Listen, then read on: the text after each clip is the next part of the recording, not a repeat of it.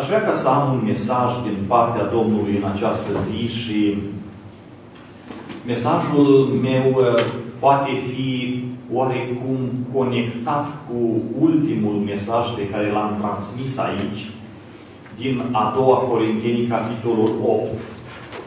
Nu voi vorbi din capitolul 9 astăzi, pentru că am înțeles că deja ați învățat uh, uh capitolul 9, nu voi vorbi nici capitolul 10 și aș vrea ca să am astăzi un mesaj despre facerea de bine. Înainte de a citi un text sau mai multe din Cuvântul lui Dumnezeu, am pregătit uh, astăzi pentru dumneavoastră o prezentare PowerPoint, slide show și aș vrea ca împreună să putem uh, citi istoria aceasta, apoi vom reveni la Cuvântul lui Dumnezeu și continuăm să așteptăm, să cerem călăuzirea Domnului peste ceea ce El dorește să ne transmită în această zi.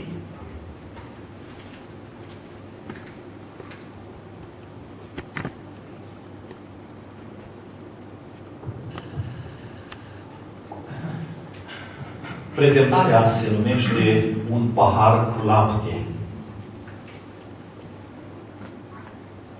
Într-o zi, un tânăr sărac care vindea diferite măr mărfuri din poartă în poartă ca să-și plătească studiile la universitate, găsi în buzunar doar o monedă de 10 cenți și era foame.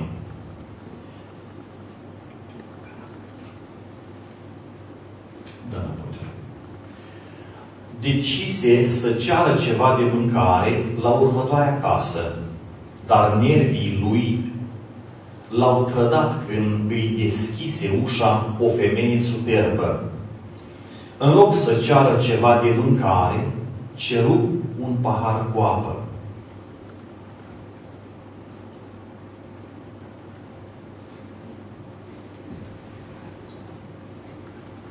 Ea se gândi că tânărul părea înfometat. Așa că îi aduse un pahar mare cu lapte. El bău încet și după aceea întrebă cât vă datorez? Nu-mi datorez nimic, răspunse ea. Mama mea ne-a învățat că trebuie să fim mereu buni cu cei care au nevoie de noi. Și el răspunse, vă mulțumesc din suflet. Când Howard Kelly pleca de la casa aceea, nu numai că se simți mai ușurat, dar și încrederea în Dumnezeu și în oameni deveni mai puternică.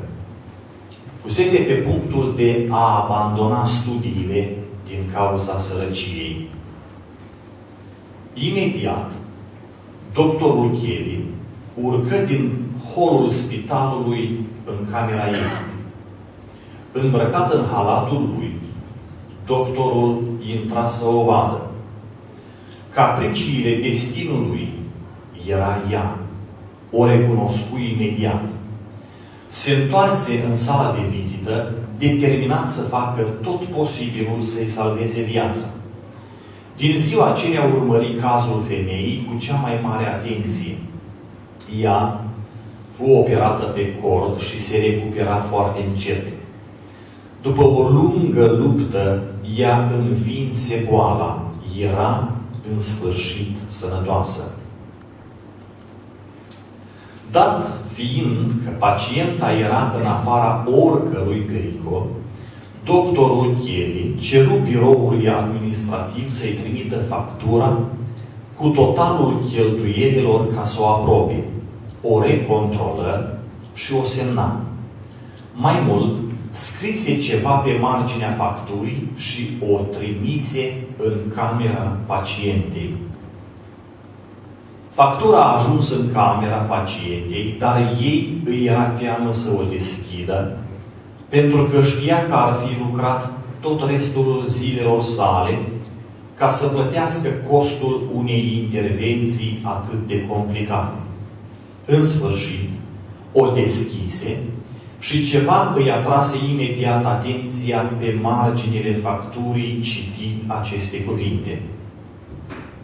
Plătită, integral, acum mulți ani, cu un pahar cu lapte, semnat doctorul Howard Kelly.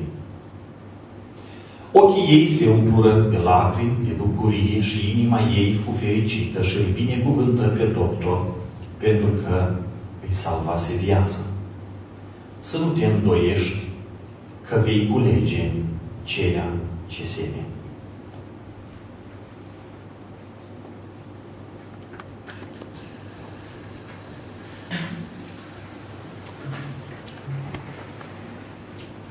Într-o oarecare măsură, cred că istoria aceasta ne-a mișcat pe noi, pentru că posibil unii ne-am întâlnit cu situații de felul acesta în viața noastră. Dacă nu ne-am întâlnit, posibil că urmează să ne întâlnim. Dacă nu ne vom întâlni pe pământul acesta, posibil că în cer, acolo unde vrem să ajungem, noi ne vom întâlni cu situații de felul acesta. Și pentru că aș vrea ca să nu facem nimic din ceea ce înfăptuim, fără ca să primim răsplata, doresc ca astăzi să am un mesaj din Cuvântul lui Dumnezeu prin care Domnul să ne învețe cum ar trebui să ne comportăm ca ceea ce noi înfăptuim și anume faptele bune, frumoase și plăcute, să poată fi contabilizate de către Dumnezeu și noi să primim o răsplată. Pentru început aș vrea ca să vă invit să deschideți împreună cu mine în cartea Evangheliei lui Ioan, la capitolul 14, și să citim câteva versete începând cu versetul 1. Evanghelia lui Ioan, capitolul 14, versetul 1. Să nu vi se tulbure inima, aveți credință în Dumnezeu și aveți credință în mine. În casa tatălui meu sunt multe locașuri. Dacă n-ar fi așa, v-aș fi spus. Eu mă duc să vă pregătesc un loc. Și după ce mă voi duce și vă voi pregăti un loc, mă voi întoarce și vă voi lua cu mine, ca acolo unde sunt eu, să fiți și voi. Cunoaștem foarte bine textul acesta, cunoaștem foarte bine împrejurarea în care Domnul Isus Hristos a rostit în învățătura aceasta. Nu vreau ca să vorbesc astăzi despre îngrijorarea inimii, pentru că găsim aceasta aici, nu vreau să vorbesc astăzi despre un alt subiect din uh, învățătura aceasta și vreau doar să avem un punct de plecare de aici. Și anume, ceea ce descoper eu este următorul adevăr. Domnul Isus Hristos le spune ucenicilor că în împărăția lui Dumnezeu, pentru creștini, pentru credincioșii din toate timpurile și înainte de a apărea creștinismul, pentru creștinii vechi, pentru credincioșii Vechiului Testament, în împărăția lui Dumnezeu sunt anumite locașuri. Sunt anumite locuințe pregătite și vom vedea noi mai târziu de cine, dar Isus ne spune nouă, așa cum le spunea ucenicilor acum peste 2000 de ani în urmă, că El se duce la Tatăl să ne pregătească ce? Un loc. Întrebarea mea este, vedem o diferență între un loc și un locaș? Vă spuneam că feciorul meu cu toate care abia 20 de ani mi-a spus, tata, să știi că eu nu voi sta mult, așa că pregătește-te. Și zilele trecute am tot umblat să căutăm un loc. Pentru că el ar vrea să își construiască o casă și am umblat să căutăm un loc. Și tot am umblat și într-o parte și în alta. Acolo e prea departe. Dincolo nu sunt uh, căi accesibile pe timp de iarnă. Acolo nu este uh, sistem de canalizare și așa mai departe. Dar noi nu căutăm un locaș acum. Pentru că el, printre altele, vrea ca să se dezvolte și în domeniul construcțiilor. A mers la pedagogie, ieri a fost prima zi la universitate, la business și administrare, dar lucrează în timpul liber de vacanță și în construcție. Construim acum o casă pentru o familie nenorocită. Am găsit o femeie cu încă patru copii într-o colibă mai rău decât pentru animale iarna trecută și am zis ca și biserică, dacă Dumnezeu ne-a scos în față pe acești oameni, le construim o casă nouă. În 24 de zile lucrătoare am turnat temelia, am făcut două camere la subsol, am ridicat pereții, am acoperit, am tencuit interior, exterior, am pus geamurile, M-am uitat astăzi până a venit pentru că avem transmisiune live. Deja uh, sopa este zidită, podurile sunt bătute și săptămâna viitoare feciorul meu se pricepe la izolări exterioare cu poliester. A fost deja la fabrică, a dat comandă și a spus săptămâna viitoare voi lua câteva zile de la universitate și mă duc să izolez casa aceea. Acum el a spus, eu vreau să-mi construiesc o casă. Vă mai întreb încă o dată, noi care căutăm un loc, vedeți diferența dintre un loc și un locaș? Da sau nu? Măcar dacă nu ziceți da, dați din cap să putem comunica. Diferență eu văd între un loc și un locaș. Și Domnul Iisus Hristos a spus, acolo în cer sunt multe locașuri. Ei bine, unii au zis ce bun este Domnul nostru. El s-a îngrijit de toate. El s-a îngrijit de toate, totul a pus la punct și uite, Domnul mi-a făcut acolo și o casă și avem noi și cântări și poezii și așa mai departe, dar când eu citesc mai atent cuvântul, descoper că Isus a zis așa, acolo sunt locașuri, dar nu sunt ale voastre. Poate unul la fi, o fi al lui Avram, altul al lui Isaac, altul al lui Moise, altul al lui Daniel, altul al lui Petru, altul al lui Pavel și așa mai departe, altul al bunicilor noștri și înaintașilor noștri, părinților noștri, care uh, unii deja sunt în cer și ei nu mai pot ca să schimbi nimic, ei au locașuri, dar nouă celor care încă ne vorbește cuvântul Scripturii, Iisus ne spune vouă, eu mă duc să vă pregătesc un loc. Și locul acela, sau mai bine zis, pe locul acela, vei avea dreptul ca să construiești ceva. Și vă rog acum ca să mergem în continuare cu citirea Cuvântului lui Dumnezeu în Epistola lui Pavel a 1 Corinteni, capitolul 3, versetul 10.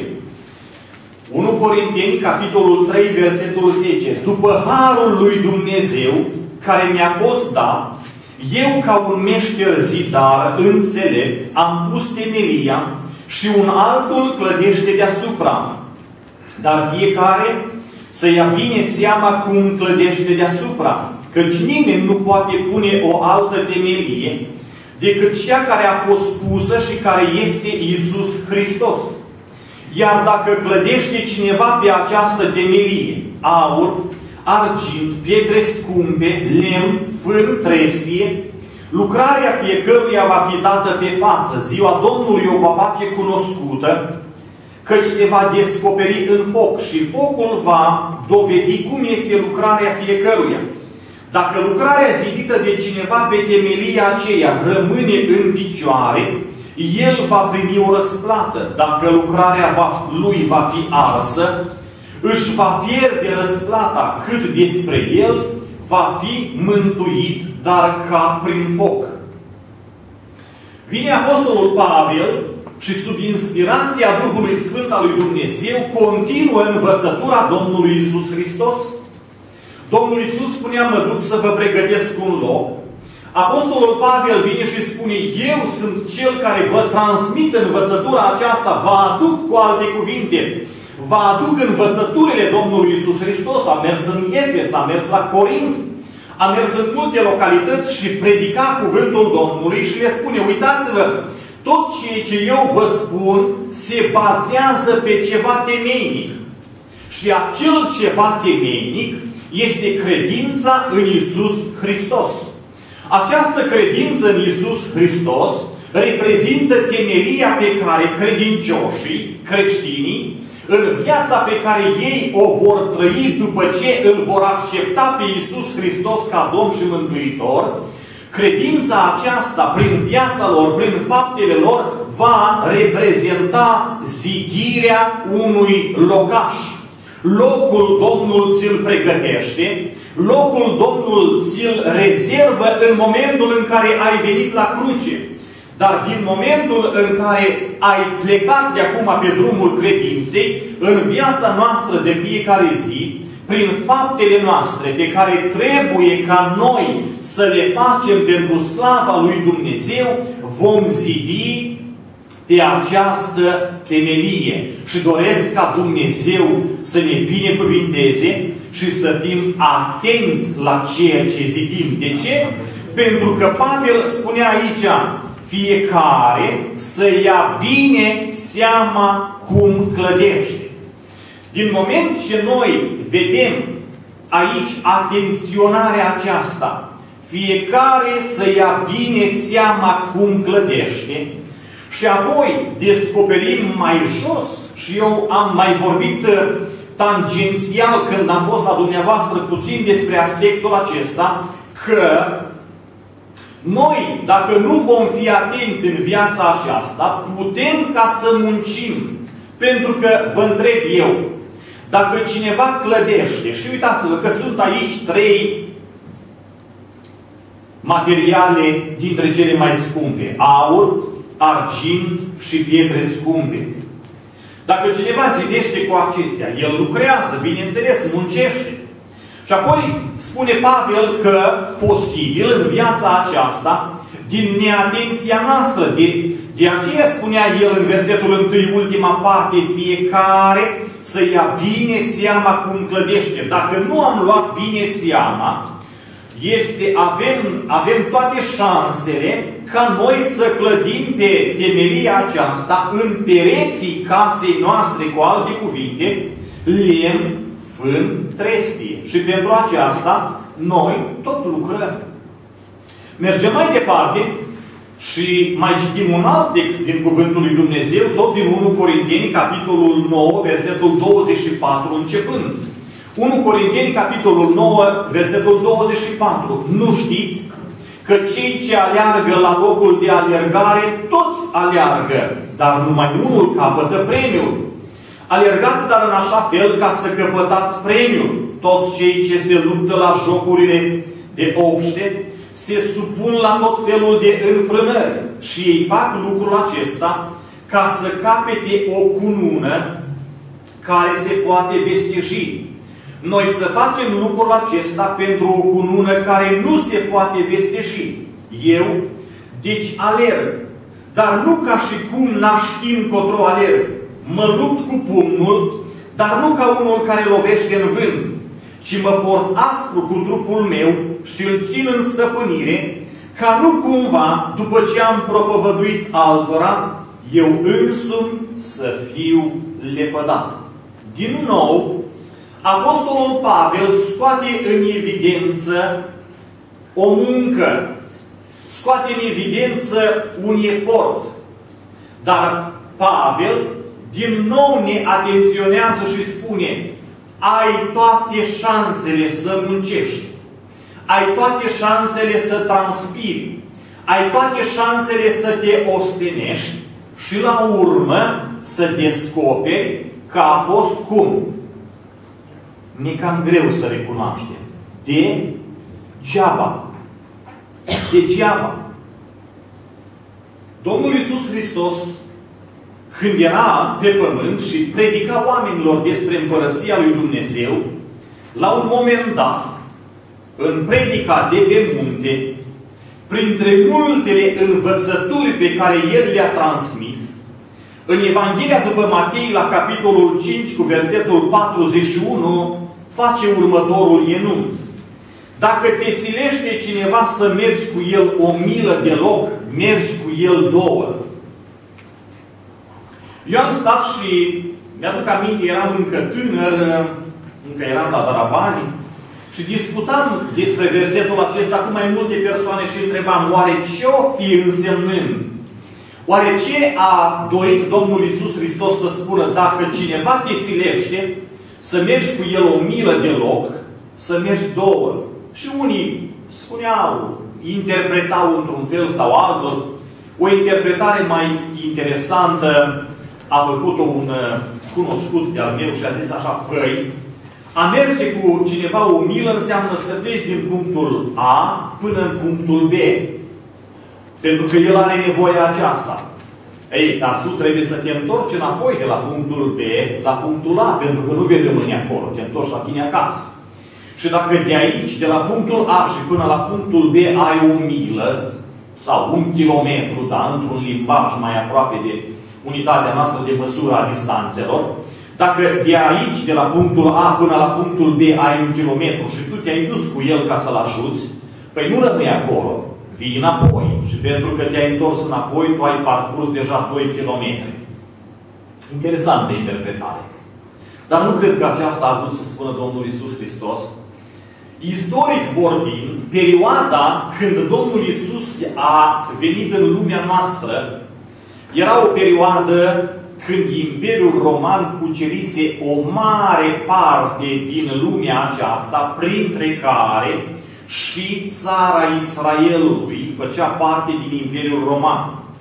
Dacă Imperiul dinaintea romanilor, și anume grecii, s-au evidențiat prin cultură, și ei au putut ca să răspândească domeniul acesta al științei, al cunoașterii, al învățării, al culturii. Cu limba greacă, ei au fost cei care au invadat tot Imperiul. În momentul în care grecii au căzut și s-au ridicat romanii, romanii au folosit cultura, dar ei s-au evidențiat prin ordine, lege și disciplină. Și pentru ca să instaureze ordinea în Imperiu, spun istoricii că romanii au organizat garnizoane din uh, distanță în distanță, iar trupe de soldați romani patrulau zilnic din loc în loc, pentru ca în felul acesta să stârpească tâlhăria de la drumul mare. Caravanele cu negustori erau mereu, mereu în pericol datorită hoților și tâlharilor de la drumul mare, iar romanii au instaurat uh, marșurile acestea zilnice, când uh, un anumit grup de soldați înarmați se deplasau dintr-un loc în altul, alții de aici în altă direcție, pe toate drumurile și magistralele centrale din vremea aceea, și în felul acesta ei au reușit ca să instaureze ordinea pe drum. În România, până nu de mult, au fost posturi de poliție. Se numeau borcane. Vă aduceți aminte, da? Erau așa rotunde. Erau posturi de poliție rutieră. În Moldova, de asemenea, până nu de mult, au fost posturi de poliție rutieră. Și ei stăteau acolo și te așteptau. Și când ajungeai, bună ziua, actele la control, ce aveți, de unde veniți, unde mergeți. Dar în rest, de acum, șoferii călătoreau și apăsau accelerația după bunul lor plac. Acum, și aici, și în Moldova, unde locuiesc eu, posturile acestea au fost desființate și au fost înființate patrule rutiere și poliția are la dispoziție mașini echipate cu radar și ei pot ca să te filmeze atât venind uh, din sens opus, chiar și din spatele tău te filmează și îmi spunea într-o zi șoferul nostru de la școală, de pe autobuz, un frate bătrân de 72 de ani, dar care încă lucrează șofer pe autobuzul școlii, zice, frate că m-am văzut la televizor azi dimineață. Da, unde? Și m-a prins poliția cu radarul. N-am depășit mult, dar m-a prins și m-au luat la ei în mașină și m-am văzut acolo frumos la televizor, zice, așa cum stau eu la volan. Ei, de când, de când avem patrulele acestea, deja disciplina circulației rutiere este mai înaltă. Și asta au făcut romanii. Ei, dar aici intervine adevărul pe care Isus îl scoate în evidență. În deplasările lor, soldații romani trebuiau ca să-și ducă armele, soldații romani trebuia ca să-și ducă scutul, soldatul roman trebuia să-și ducă cortul, pentru că tot ce e posibil îl prindea noaptea într-o altă locație și el acolo trebuia să-și așeze cortul și să doarmă. Soldatul roman trebuia să-și ducă cantitatea de grâu, pentru că orice soldat roman avea o cantitate de grâu și ei mâncau efectiv boabele de grâu și beau apă. Și toate acestea, bineînțeles că reprezenta pentru el o povoară destul de grea. Și legea imperială era următoarea. Fiecare cetățean al Imperiului Roman era obligat la cererea unui soldat dacă soldatul spunea, sunt obosit, eu sunt în slujba statului, eu merg și fac drumul acesta pentru ca să fie ordine în țară, dar datorită faptului că sunt obosit, am dreptul, dacă văd pe un cetățean al Imperiului Roman să-i spun, ia sacul meu cu grâu, ia cortul meu,